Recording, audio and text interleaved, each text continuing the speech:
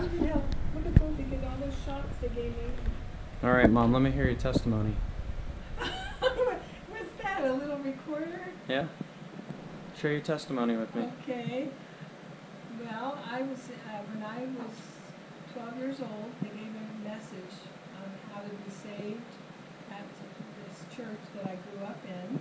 And, uh, they said I was gonna go to hell if I didn't, and it scared me. So I went forward, I felt like I needed to go forward, and I was crying. I, but I know tears don't get you to heaven, but I went forward and I said I wanted to take the Lord into my heart. And I wanted to be obedient and to get, go forward with baptism too.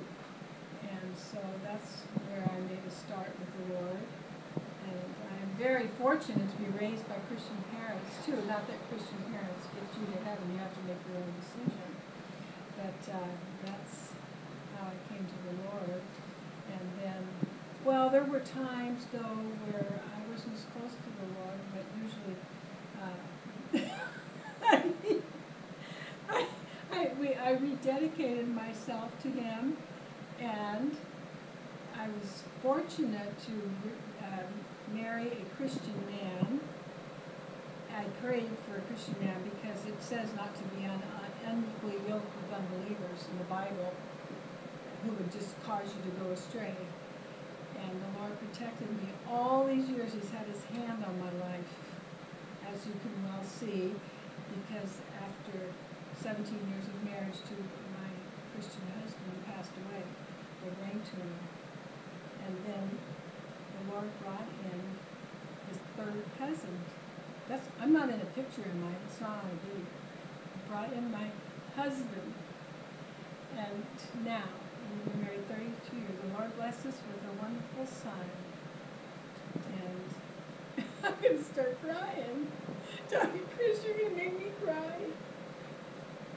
And I'm so thankful for all he's done in my life.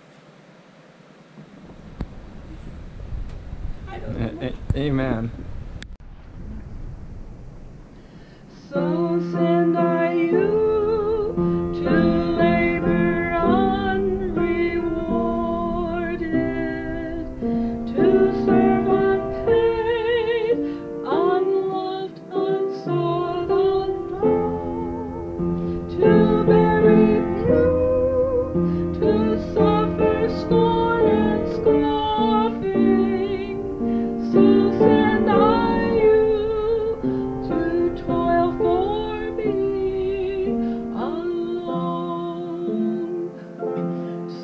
Send I